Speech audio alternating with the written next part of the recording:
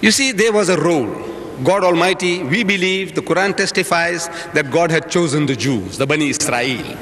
The Quran says, Ya Bani Israel, askuru ni'mati allati anamtu alaykum. So, O children of Israel, remember the special favors which I did unto you. Wa anni faddaltukum al alameen. That I preferred you above all the peoples of the earth for my special favors. He chose you. You say you are a chosen people. I say, yes, you are a chosen people. You say it's in the Bible. I say it's also in the Quran. You are a chosen people. Chosen for what? Because of your race? Because of your language? Because of your riches? No. You were chosen for a purpose. And that purpose is spelled out for you in, in, in your Torah, in the Bible, in the second book of the Bible called Exodus. Moses is made to say, Exodus chapter 19, verse 5 and 6. He says, Moses, now therefore, if ye will obey my voice, God is speaking through Moses, if you Jews will obey my voice and keep my covenant, then ye shall be a peculiar treasure unto me, something special. If you listen to God's voice, listen to His commandments, become right with Him, so you will be a peculiar treasure unto me above all people.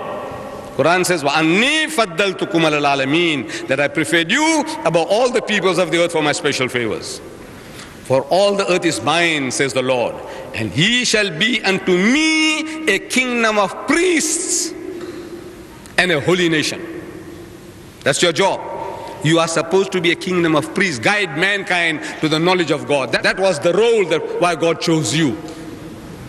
Now you have done away with that role. You have made your religion a racial religion. All the strife in the world, whatever happened in Germany, whatever happened for the past 2,000 years, is on account of that you have lost that role. You have done away with that role. And if you do not carry out the duties and responsibilities which God had imposed upon you for making you the chosen people, He says, the same God, He says, in your book, in your Torah, in the book of Leviticus, the fourth book of Moses, chapter 26, verse 18. And after all this, if you do not obey me, God is talking. You Jews, if you do not obey me, then I will punish you seven times more for your sins. Seven times more. Anybody else, you commit one crime, one punishment. You Jews, you get seven times more punishment. This is your book, your book of authority, your book of God, your Torah. Verse 21. Then if you walk contrary to me and are not willing to obey me, I will bring on you seven times more plagues. Seven times more plagues upon you, the Jews, according to your sins. Verse 28 Then I also will walk contrary to you. You walk contrary to me, I will also walk contrary to you in fury. And, and I, even I, will chastise you seven times for your sins. I don't know, when Hitler incinerated six million Jews, whether it was six times or seven times, I don't know.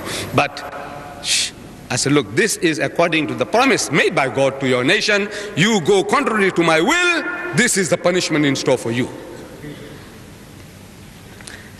And he warns you. He warns the Jews in their own holy book, the own holy Bible, the Old Testament, which is the Bible of the Jews. He warns them. In the last and final will of Moses, the last will and testament of Moses, the book of Deuteronomy, fifth book, chapter 28, verse 68. Moses is speaking. And the Lord shall bring thee into Egypt. You have already come out. After you have come out in the Sinai, Moses is speaking to the Jews. And the Lord shall bring thee into Egypt again, again, with ships, by the way whereof I spoke unto thee, thou shalt see it no more. Though I told you, look, man, I have freed you from Egypt, but he'll bring you back. Notwithstanding, I, I have freed you now from the Egyptian bondage, but I will bring you back into Egypt.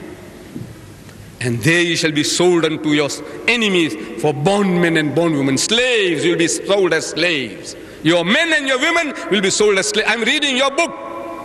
I don't know whether there are any Jews who are listening or whether they'll carry my words to them. God says, He says, You will be sold a second time, a second bondage. Only once you have been in bondage so far in Egypt. This is the second bondage God is promising the Jews. You'll be sold as bondmen and bondwomen, slave men and slave women. And no man shall buy you. You'll be such a rubbish that nobody will have you even. Even as slaves, they won't own you. Deuteronomy chapter 28, verse 68. Look, I said, you are set up for all this. This is a setup going on. You are not going to listen? It's right. He gives you rope. He gives you rope. He's given you rope. Go on, go on, as he gave Hitler rope. This mighty Hitler. I said, great in, in, in, in, in terror, in cruelty. His army is marching to Russia 2,000 kilometers non-stop. You know, that man, Hitler, because of him, 40 million people died. The Second World War.